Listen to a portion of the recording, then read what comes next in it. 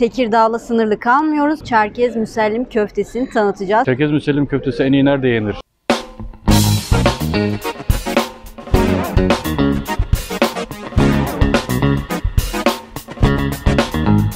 Dededen babaya, babadan oğula. Baharatı 3 kuşaktan beri hiç değişmiyor. Tekirdağ köftesinin atasıdır.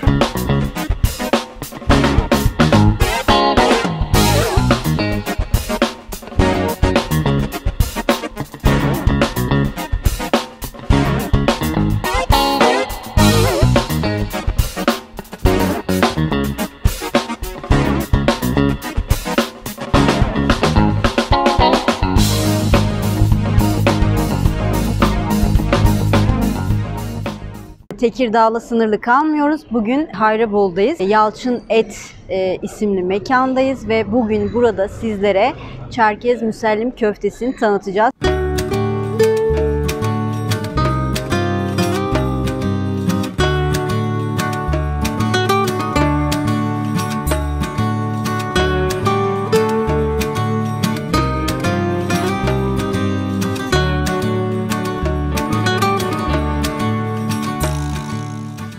Dostlarımız diyor ki Çerkez Müsellim köftesi nerede yenir? Biz de diyoruz ki Hayrabolu'da Yalçın Et'te yenir. Bir gelin bir bakın diyoruz. Buyurun.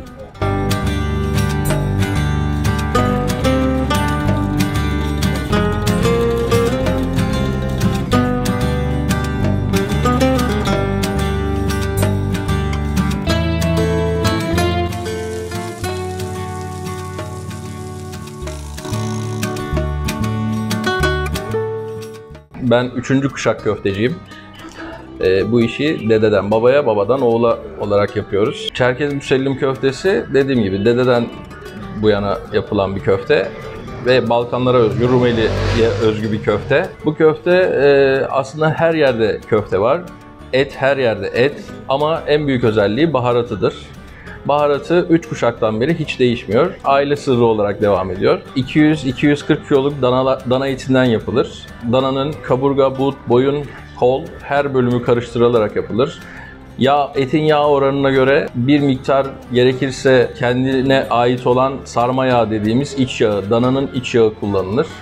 Baharatla harmanlandıktan ve bir gece dinlendikten sonra 50'şer gramlık büyük boylarda papuç köfte şeklinde yani bir çocuk papucuna benzediği için ismi bir nevi de papuç köftedir. Çerkez müsellim papuç köftesi. Bir gece dinlendikten sonra dediğim gibi kömür ızgarasında mangalda pişirilerek servis edilir. Çerkez müsellim köftesi aslında e, son zamanlarda çok fazla bilinmeye başlandı. Asıl gerçeği e, Tekirdağ köftesinin atasıdır. Tekirdağ köftesi Çerkez Müsellim köftesinden e, esinlenmiştir ve doğmuştur. Buradan Hayrabolu'dan gittikten sonra gramajı biraz küçültülüp şekli değiştirilerek bu şekilde devam etmektedir. Ürünlerimiz çok iyi. Yani yurt dışına siparişlerimiz de oluyor. Yurt dışına da gönderiyoruz. Özellikle yaz aylarında gelen misafirlerimiz köftemizi almadan e, hiç gitmiyor. Bugüne kadar en uzak gönderdiğim yer Norveç oldu. Norveç'e kadar gönderdim. Bulaşıkçılıkla başladım. Mezecilikle devam ettim. Kasaplığa geçtim. ızgaracılık en sonunda patronluğa kadar yükseldim. Burada Çerkez Müsellim köftemizin hem çiğ satışını yapıyoruz hem dileyen misafirlerimiz tadına bakmak isterlerse pişmiş olarak da onları ağırlayabiliyoruz. Haftanın 6 günü çalışıyoruz. Pazar günleri çalışmıyoruz. 6 gün boyunca e, her sabah 9'da açıyoruz. Saat 10.30'da ızgaramız hazır oluyor. Akşam saat 8'e kadar da servisimiz devam ediyor. Kasaplıkta yaptığımız için, kasap ürünleri de sunduğumuz için burada e, köfte haricinde yani Çerkez Müsellim köftesi haricinde kaşarlı köfte, Keşan'a özgü satır köfteyi de yapıyoruz. E, antrikotumuz, büfteğimiz, bonfilemiz, kendimize has kasap sucuğumuz, tavuk ürünlerinden ürünlerimiz hepsini sunuyoruz müşterilerimize. Tatlı ev yapımı Hayrabolu tatlısı. Kadı göbeği, namı değer kadı göbeği. Hani derler ya her yiğidin bir yoğurt yiyişi vardır. Her köftenin de yapım farklılığı vardır.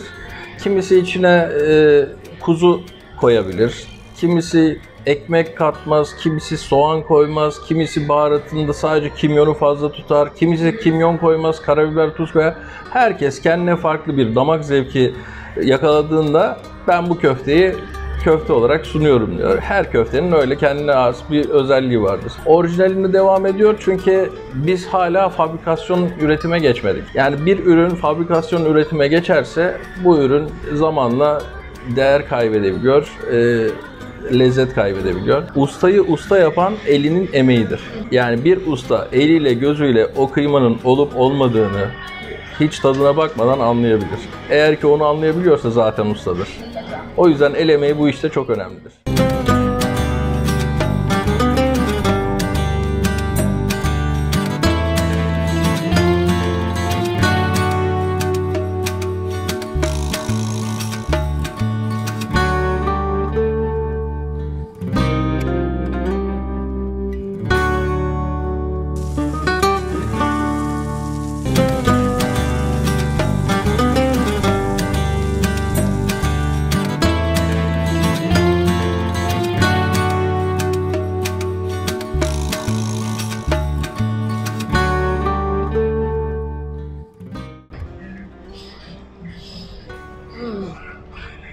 Kaşarlı çok güzel. Şimdi Çerkez Müslüman köftesini ben zaten hep beğeniyorum. Şimdi ona bakacağım. Zaten iyi bir etçi olduğumu bilirsin. Beni tanıyanlar da bilir. Gerçekten eee Şimdi bu karışık tabak e, çok bence güzel. O yüzden e, sevgili misafirlerimiz e, buraya gelirseniz böyle karışık bir tabak değil mi?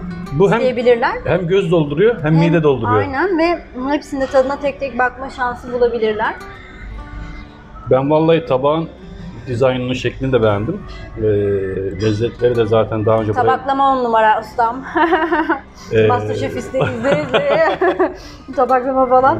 Evet tabağın şurasında şunu olmasaydı daha iyi diyebileceğiniz bir şey yok. Yok, yok, Gerçekten Biz e, onlar kadar öyle kırıcı yorumlar yapmıyoruz. Şaka bir yana güzel. Ee, Çok güzel. Hem tabaklama güzel. Zaten buraya ben daha önce de gelmiştim. Lezzeti de Evet güzel. siz bayağı seviyordunuz değil mi? Daha önce de gelmiştiniz söylüyordunuz.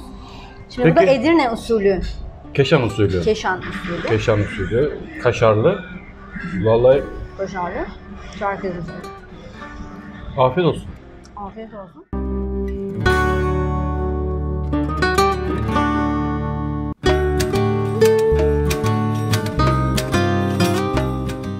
E, Mekanımızda sadece et ve et ürünleri yok. Aslında hep köftenin üzerinde durduk ama gördüğünüz gibi burada gerçekten pirzola, antrikot, tavuk ürünleri, e, bütün et çeşitleri var. Ama onun dışında şu elimde tuttuğum e, bu güzel tatlı tepsisi gerçekten e, iştah kabartıyor. Ve e, ustamız şöyle söylüyor, Hayrabolu tatlısının aslında atası diyor. Kadı göbeği tatlısı tamamen el yapımı çünkü burada aslında altın çizmek istiyoruz. Ee, her şey gerçekten el yapımı. Fabrikasyon hiçbir ürün yok. Ee, bu güzel elimdeki tatlı da e, işletme sahibimizin eşi hanımefendinin elinden çıkıyor. Geldiğinizde kesinlikle ama kesinlikle denemenizi tavsiye ediyoruz.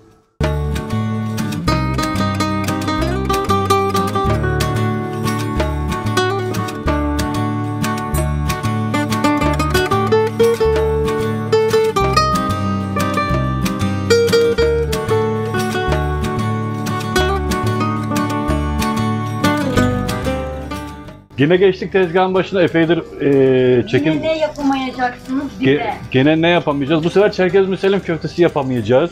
Aslında yapamayacak bir şey yok. Bunu Ee, etlerde biraz daha iyi hamurlarda sıfır. Evet, 5 yaşında çocuk bile olsa bunu çevirir artık diyorum. Ee, epeydir de çekim de yapamamıştık. Bu pandemiydi, başka işlerdi, kendi özel işlerimizdi derken bir baktık Hayrabolu'da Yalçın Et'in tezgahında bulduk kendimizi. Ee, Hayrabolu'ya yolunuz düşerse veya Hayrabolu'dan geçerseniz mutlaka aman belediyenin yan tarafında, arka tarafta bir e, pasaj tarzı bir yer var. O araya girdiğinizde e, Yalçın Et'i bulacaksınız, göreceksiniz ve Çerkez Müsellim köftesini Çerkez Müsellim'e gitmeden de yiyebilirsiniz ama ben bir kontrol edeyim mi şunu ya? Şunu, şunla. Evet daha daha var. Ee, diğer köftelere göre bakıyorum şimdi ızgarada biraz daha böyle e, kuru gibi. Tabii az önce ustamız da işletme sahibi de söylemişti. Her köftenin başka bir yoğruluşu, başka bir e, harmanlanması var. Kimisinin e, baharatı fazla, kimisinin ekmeği, kimisinin tuzu, e, kimisi iki kere çekilir kıyma e, gibi. E, dolayısıyla bu da biraz böyle sanki tezgah üstünde, e, ızgara üstünde kuru gibi duruyor.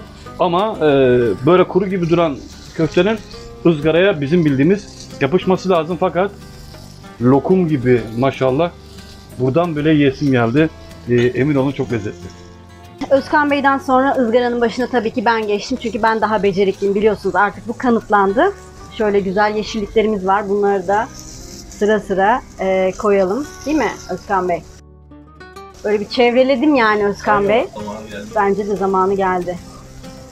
Ustamızın sözünü dinlemek istiyorum. Bence olmuş gibiler. Ee, evet şimdi bu köfteler öyle e, bildiğiniz sıradan köfteler değil. Ta Norveç'e gidiyorlar. Norveç balıklarını rakip derecede lezzetliler. Ee, dediğimiz gibi Çerkez Müsellim'e falan gitmenize gerek yok. Hayrabolu'ya geldiğinizde gelip geçerken Yalçın Et'e mutlaka uğrayın.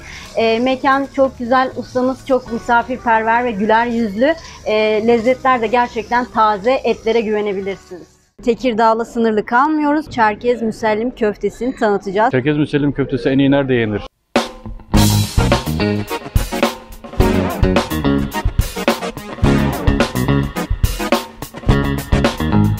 Dededen babaya, babadan oğula. Baharatı 3 kuşaktan beri hiç değişmiyor. Tekirdağ köftesinin atasıdır.